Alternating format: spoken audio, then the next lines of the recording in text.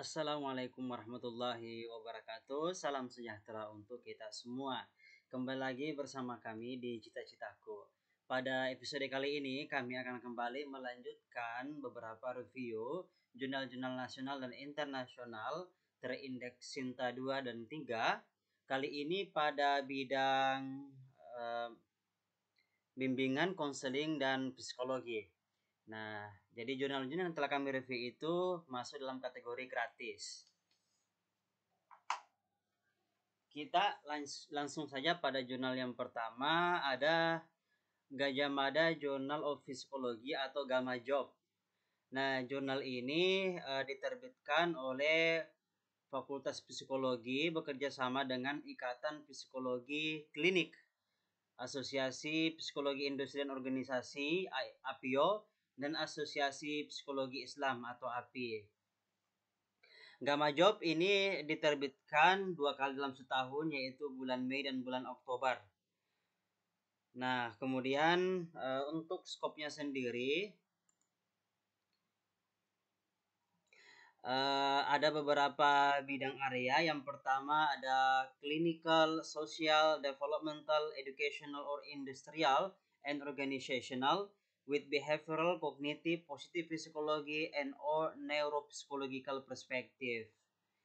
Nah, uh, Gamma Job juga ini accept articles using quantitative and or qualitative research methodology that meets the standard publication in this journal.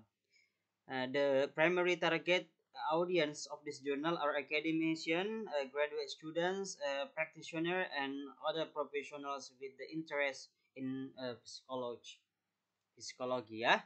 Nah, uh, untuk di sini disebut disebutkan bahwa Gajah Mada Journal of Psychology does not charge uh, a publication fee for others. All articles published in our journals are open access and freely available online immediately upon publication. Jadi untuk Gamma Job ini gratis untuk semuanya dan juga masuk dalam kategori open access ya gratis. Nah, kemudian eh, di Sinta sendiri jurnal ini masuk dalam kategori Sinta 3 dengan H index 11 dan jumlah citasi di Sinta adalah 398. Kita lanjut ke jurnal kedua ada Simpatik Jurnal Ilmiah Psikologi Nah, Jurnal Ilmiah Psikologi is a scientific journal on uh, psychology published by the Faculty of Psychology of the UIN Sunan Gunung Jati, Bandung. It brings new articles every June dan December, berarti dua kali dalam setahun. Uh, the journal is an open access journal. They publish uh, empirical research and psychology Nah, jurnal ini uh, ini adalah indeks pengindeksnya mulai dari DOIJ, Sinta, Google Scholar dan lain sebagainya. Untuk fokus and scope-nya sendiri ada beberapa. Yang pertama cognitive psychology, developmental psychology, educational psychology, social uh, psychology, psychological measurement, dan kemudian biopsychology and other psychological fields. Nah, untuk jurnal ini sendiri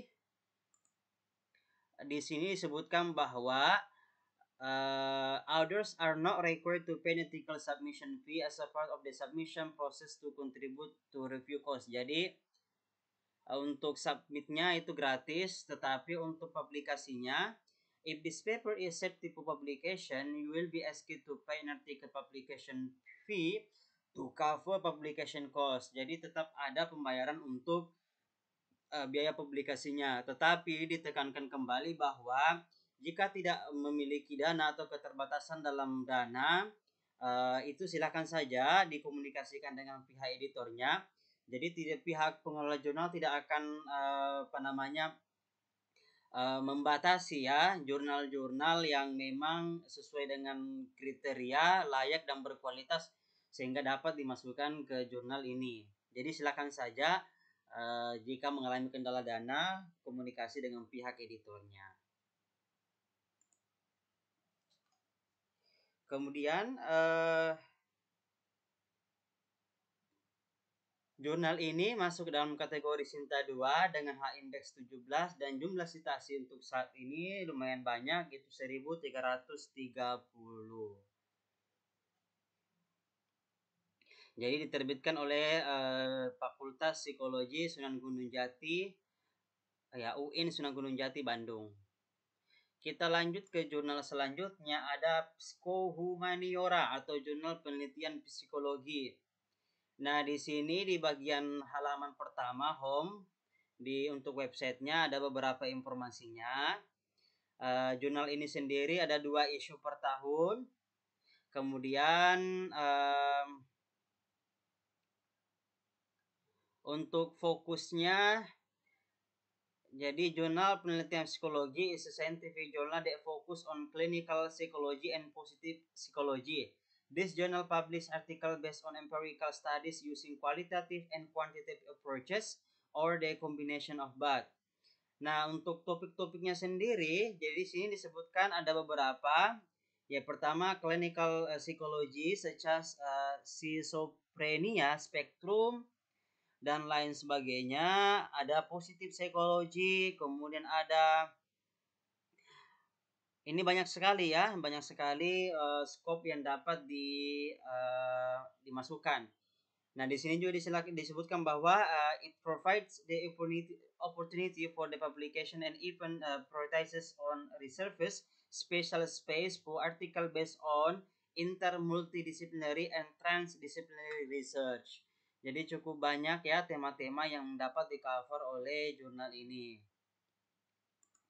Nah, silakan Bapak Ibu baca sendiri fokus and scope-nya untuk menyesuaikan apakah sesuai dengan bidang penelitian atau artikel dari Bapak dan Ibu. Kemudian untuk nya di sini disebutkan bahwa Psikohumaniora, jurnal penelitian psikologi, does not charges any submission or publication fee. No fees incurred for article processing, submitting, neither reviewing the articles. Nah, under the aforementioned condition, we are waiving in full for others that need to this journal. We do not want fee to prevent the publication of worthy work. Jadi sila, jadi ini gratis ya, no charges. Jadi uh, silakan dimanfaatkan Bapak Ibu uh, terlebih dahulu sesuaikan apakah tema artikel atau penelitian Bapak Ibu sesuai dengan tema yang disebutkan di website jurnal ini. Nah, jurnal ini sendiri di akun Sinta, di laman Sinta masuk dalam kategori Sinta 2 dengan H indeks 9 dan jumlah citasi 327. Nah, penerbitnya adalah Program Studi Psikologi Fakultas Psikologi dan Kesehatan UIN Wali Songo. Kita lanjut ke jurnal berikutnya.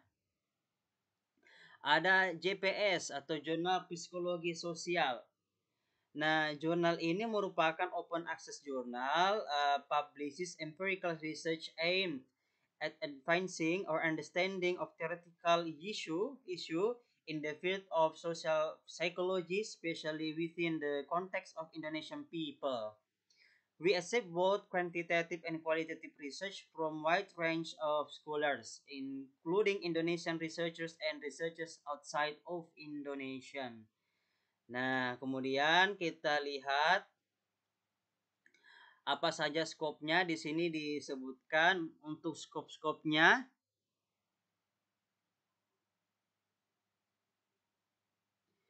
Di sini disebutkan we accept manuscript with various topic uh, ranging from social cognition, kemudian intergroup dynamics, intergroup relation, kemudian voting behavior, economic behavior, aggression, radicalism, emotion, online behavior, indigenous psychology, prosocial behavior dan lain sebagainya. Silahkan yang tertarik uh, mempelajari lebih lanjut artikel ini, uh, jurnal ini di laman Jurnal Psikologi Sosial.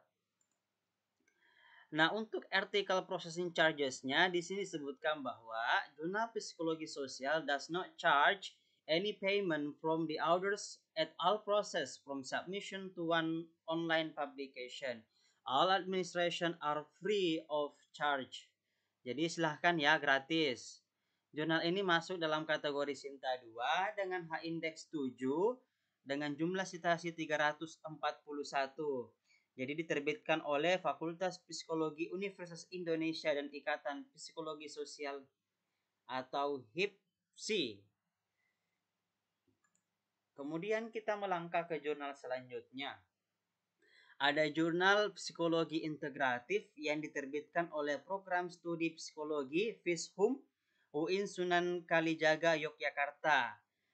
Nah, di sini dijelaskan bahwa ada beberapa topik yang dapat dimasukkan ke dalam artikel ini.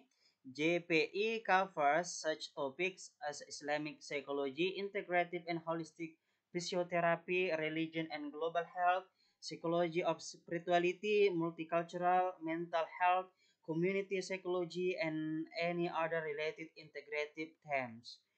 Especially focus will be given to the integration of perspective on psychology, spirituality, and Islamic interdisciplinary approaches. Nah, banyak ya. Banyak sekali isu apa namanya tema-tema yang bisa disesuaikan dengan jurnal ini. Silahkan Bapak Ibu untuk mempelajari lebih lanjut jurnal ini. Kita lihat di bagian editorial policies-nya di sini disebutkan ada Islamic psychology, banyak sekali pembagiannya ada religion and global health, ada psychology of spirituality, multicultural, mental health, integrative and holistic, community psychology dan lain sebagainya. Kemudian untuk editor penamanya article processing article publication charges-nya Uh, Journal Psikologi Integrative does not charge uh, article publication charges, submission charges, or another fee. All process of article publication are free of charge. Nah, kemudian kita lanjut di laman Sinta sendiri, jurnal ini masuk dalam kategori Sinta 3 dengan H indeks 11 dan jumlah citasi 359.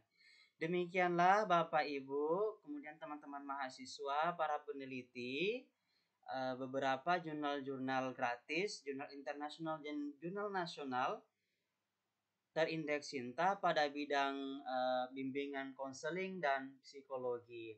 Bagi yang memiliki artikel penelitian, mungkin jurnal-jurnal ini dapat menjadi referensi Bapak Ibu uh, untuk terus meningkatkan jumlah uh, publikasi ilmiah kita. Demikian dari kami. Mohon maaf jika ada kekurangan. Jika Bapak Ibu suka dengan video ini silahkan klik tombol like dan share ke media sosial Bapak Ibu. Dan jika ingin memberikan komentar silahkan tuliskan di kolom komentar. Dan jika ingin uh, Bapak Ibu tidak ingin ketinggalan informasi selanjutnya dari kami, silahkan klik tombol subscribe dan nyalakan lonceng notifikasinya. Demikian, wassalamualaikum warahmatullahi wabarakatuh.